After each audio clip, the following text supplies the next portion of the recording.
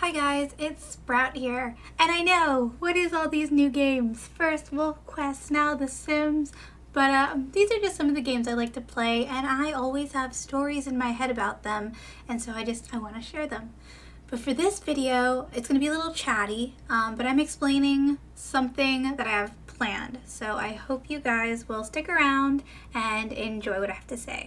Okay, so ever since I made this YouTube, which has only been about like a month, maybe maybe a month and a half, two now, but uh, ever since I made this YouTube, I've been getting a lot of recommendations on um, other channels. And I used to play Star Stable like a long time ago, and I didn't know that people were still role playing it. So I watched a few of their videos, and I found a whole subculture of like realistic role plays, and I just fell in love. These realistic horse role plays reminded me of DARPG, which stands for Dog Art Role Playing Game, which was a community on DeviantArt where you would have a like a kennel and you would breed dogs and adopt them out and you would put them in dog shows and competitions and it was all art based and you would do health testing and it was just like a very very realistic dog kennel role play I'm going to post some of my dogs on screen. My first dog was named um, HS, no, HCS, um, A Twist in Fate, and she was a black standard poodle. My kennel was mostly uh, poodles, and what we really strived to do was to breed these beautiful show conformation black you know, poodles for show. And then I also eventually had a hunting line, which did duck hunting. And, um, but Fate was the first dog I'd ever got to be grand champion, which when you do these competitions, you're actually competing against real people with art, and most of the time they're judged based on your art skill or effort or writing. And so it took me about six months to get this dog to be a grand champion. Um, okay, so why, why am I explaining all this? Well, I was jealous of the Star Stable realistic role plays, and I thought, hmm, what if I did the DARPG, the dog role playing, but in The Sims?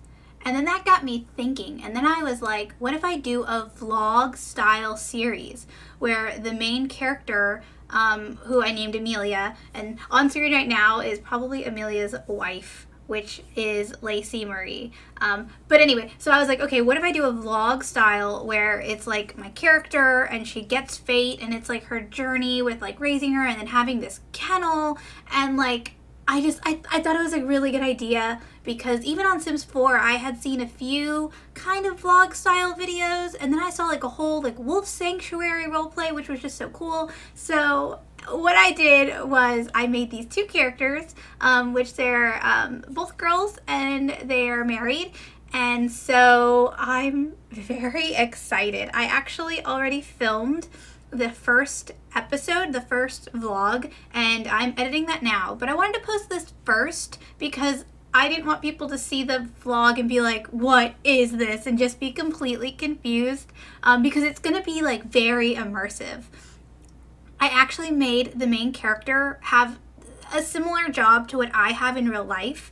So I'm actually, you know, going to be able to promote my my small shop and put the link in the description because when you see her videos, like the vlogs, it's going to be like her, you know, it's it'll kind of make more sense and I'm going to put some links to other realistic role plays to help kind of, you know, make it make sense. And uh, after you see the vlog, uh, if you like it, I might make an Instagram for her. And that way, if other people want to have like characters and then we can like be friends. I don't know. It just, it's, I love the community and it just seems really fun. So here's just, um, it's kind of a quick video of me making my two main characters.